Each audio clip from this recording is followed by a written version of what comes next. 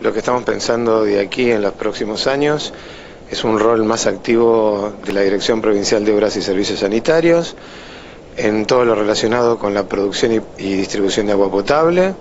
el tratamiento efectivo de los efluentes cloacales en toda la provincia y una estrategia muy activa de remediación ambiental. Como la ley que rige actualmente la DIPOS es de febrero del año 1981,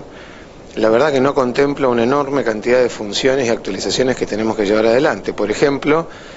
quiénes van a fiscalizar estos biodigestores que aprobó el Consejo Deliberante, la fiscalización activa de las plantas privadas de tratamiento cloacal que hay en distintos puntos de la ciudad, como paseos comerciales, fábricas, algunos barrios privados incluso, y eh, idear alternativas de distribución y control de agua potable, por ejemplo la DIPOS hoy produce, tiene el monopolio de la producción de agua potable de la ciudad, pero solo la podemos distribuir por red. Entonces, cuando tenemos alguna situación crítica, nosotros no estamos habilitados para contratar camiones o contar con un camión para distribuir agua, o en su defecto poder abastecer algunos barrios de la ciudad. Entonces, lo que estamos básicamente es modernizando las funciones que tiene actualmente la DIPOS, ampliándolas, y sobre todo pensando que la DIPOS pueda acompañar algunas situaciones críticas en el plano industrial. Por ejemplo, nosotros no podemos ni subsidiar instalaciones, es decir, una familia con una situación económica muy crítica, por ley estamos obligados a cobrarle la conexión. Cuando en realidad lo que eh, tenemos interés en el caso de que el cuadro social lo necesite es poder subsidiar esta conexión o algunas instalaciones internas. Entonces, esta nueva ley lo que prevé es un rol más social de la DIPOS, no solo el rol convencional de distribución y tratamiento de fluentes cloacales, sino proyectarla como una organización pública estatal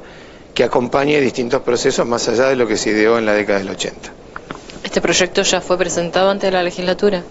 No, nosotros estábamos enviándole un primer borrador al bloque del oficialismo la semana próxima vamos a trabajar con los legisladores. Lo que hemos trabajado durante aproximadamente dos meses es en recabar información de demandas que está recibiendo la DIPOS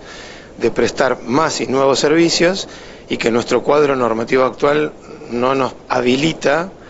eh, hacer este tipo de, de situaciones. Por ejemplo,